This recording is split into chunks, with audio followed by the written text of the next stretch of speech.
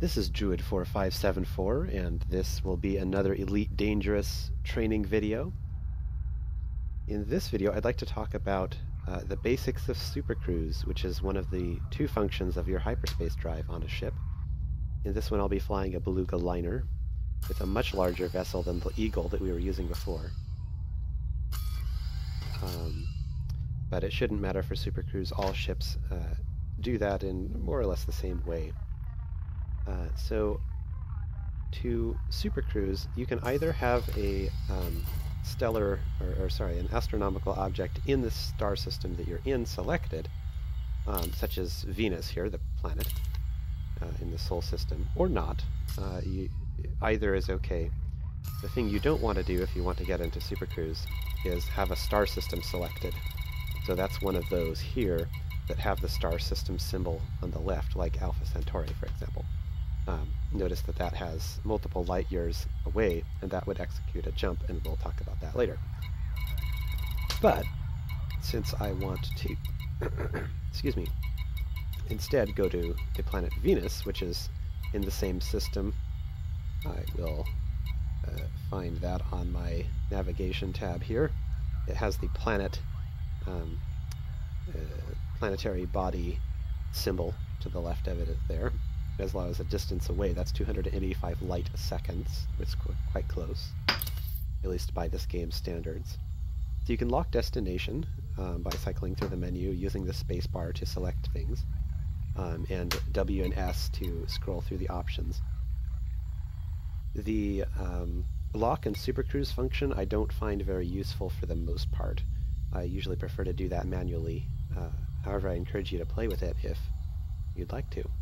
So what I'm going to do is I'm going to lock the destination, which again is not required to enter Super Cruise, um, but uh, it gives me an idea of where I want to point my ship. So I'll, uh, I'll do that. So then I'll hit the uh, frameshift drive charge key, which is the J key in uh, the default configuration.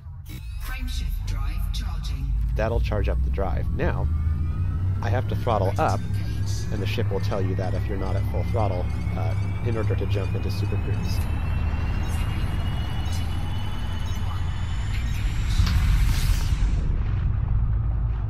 I like flying in Super Cruise with the orbit lines turned on, and that tells me um, what uh, where the uh, planets are that are circling the star in question and what their flight path is, as well as the flight paths and such of any moons or even star systems, or I'm sorry, uh, starports and uh, other orbiting things will be shown in these orbit lines.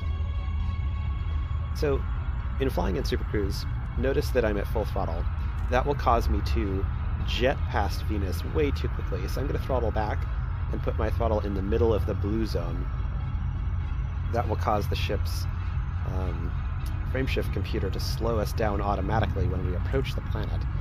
Um, and I like to have it always in the blue zone if I'm 500 light seconds um, or less away from a planetary body, or if I'm 20 seconds away from the planetary body. Notice that we have a light seconds and also a um, an ETA in seconds um, displayed there next to the planet Venus on our HUD.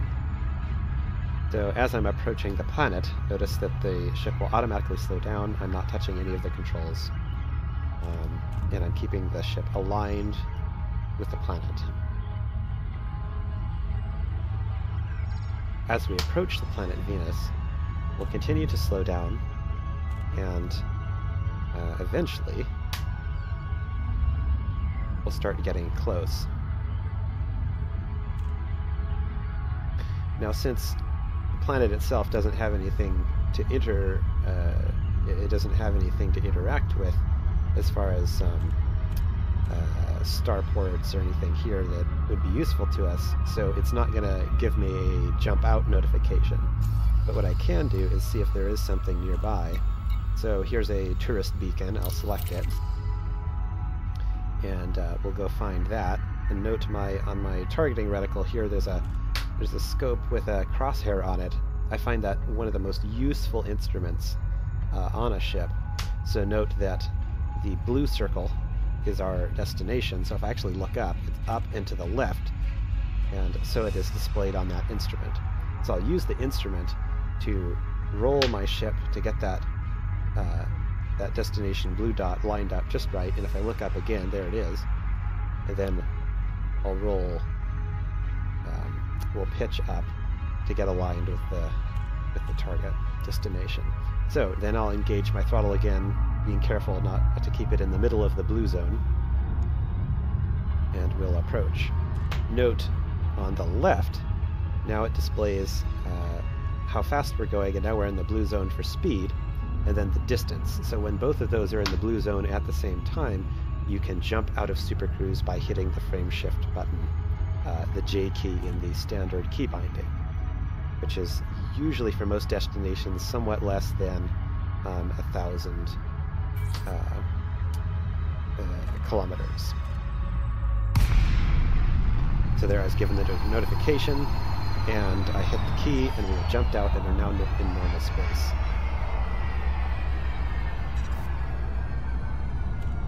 So I want to mention another couple of things about Super Cruise.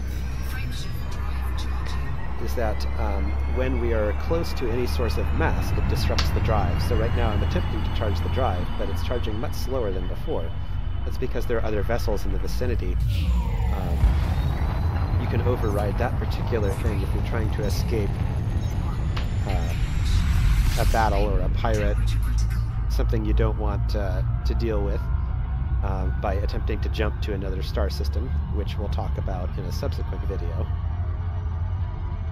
But I want to talk a little bit about controlling your ship in Super Cruise. So it's much like in normal space where uh, throttle controls forward motion and pitch and roll are uh, assigned to your mouse, or to your joystick, of course, whatever configuration you use.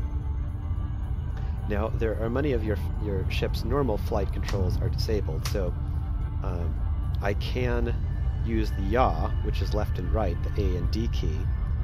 Um, I can, but all of the thrusting controls are disabled, so I can't thrust left and right or up or down. Those are uh, not available in Super Cruise. So you have to rely on your basic um, uh, plane flying skills, pitch, roll, and yaw, rather than the ship's thrusters, which are available in normal space only.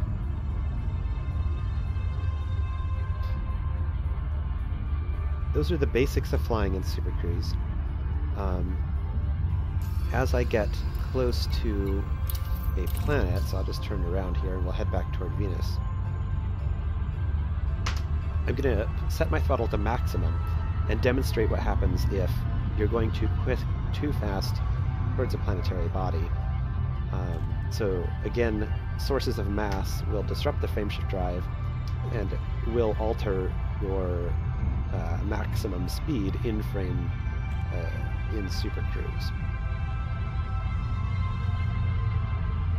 So I will do a demonstration of that here by getting close to Venus. And I'm going to set the throttle at maximum, and then it'll tell me to slow down. I'm going way too fast. Note that my maximum throttle, uh, the, the current speed was greater than the maximum throttle, so it slowed me down to that point as much as it could.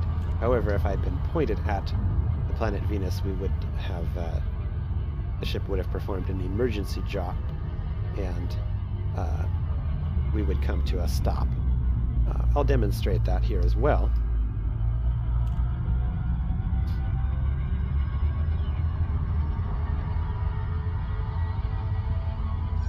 Although probably not going quite so fast. I don't want to blow up my ship.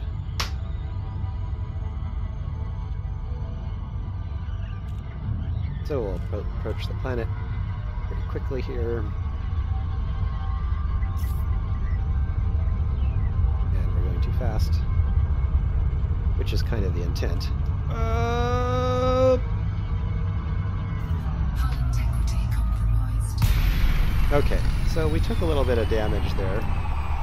My hull integrity uh, there is at 99%. Um, very minor damage, but we've dropped out too close to the planet Venus, which has quite a beautiful horizon. Note here that I have an FSD cooldown. My flight frameshift drive got too hot um, it was disengaged without uh, safety protocol, so it takes a long while uh, to cool down much longer than usual before we can engage the drive again and get back into Super Cruise and away from the planet. So, with that in mind, I'm using the opposite side of my uh, targeting reticle instrument. The um, unfilled circle says that the object in question is behind you, so now it's exactly 180 degrees behind us, um, which is how I want to uh, get out of here. So I will throttle up and wait for the ship to come to maximum speed so I don't overheat when I jump here. Now I'll engage frameshift drive. Frameshift drive charging. Align with that escape vector. Four, three, two, one, engage. And we're back in Super Cruise. So that's how you recover from a um, a close encounter with a, a uh, planetary body. And there you have it, the basics of Super Cruise flying.